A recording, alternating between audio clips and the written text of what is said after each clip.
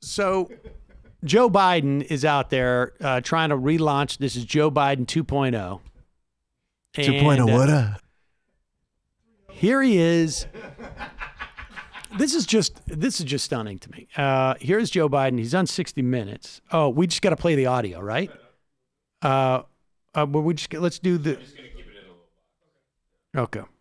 So yeah, it's over my shoulder. Um, so here's uh, Joe Biden, and um, he's he's explaining to uh, Norah O'Donnell why Donald Trump, uh, why Barack Obama has not endorsed him yet. Now, you'll recall that like if Rudy Giuliani was verb noun 9/11, and when he ran for office, Joe Biden is verb noun Barack Obama, and uh, so he's running his campaign as Barack Obama's vice president. Fine, that's his prerogative. But here is his interesting story as to why he's not being endorsed by Barack Obama.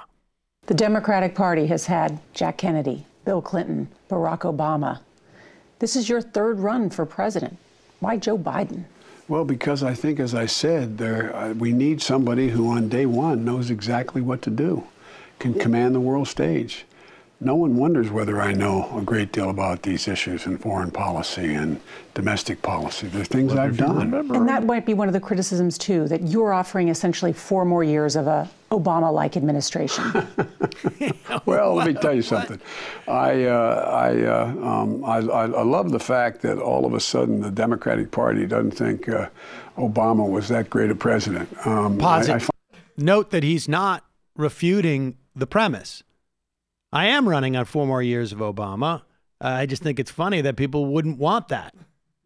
Obama was that great a president. Um, I, I find that fascinating Some have asked, why hasn't President Obama endorsed you? You guys served together for eight years. because I have to earn. I want to earn this on my own. Did he offer to endorse you? No, we didn't even get there. I asked him not to. He said, "Okay." I think it's better. I think he thinks it's better for me.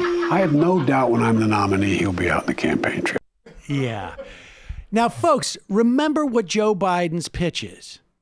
This is the most important election ever facing us to save the soul of America.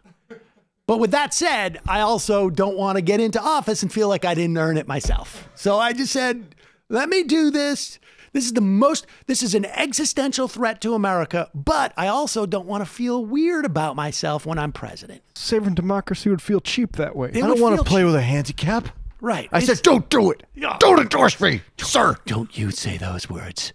Don't you do it. I'll tell you what, Joel, if your retinas can keep it together through the next several months, I'll be out there in the general. I feel like I love the way you're. I You know love the way. you, you see if you pull up that um, officer and a gentleman where he's like, I got no other place to go. I feel like Joe was just like, Don't you say it. I want to own this.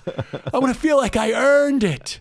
I don't want people to say that I didn't. I didn't win this. That was real hope and changed the way your teeth fell out. That was great.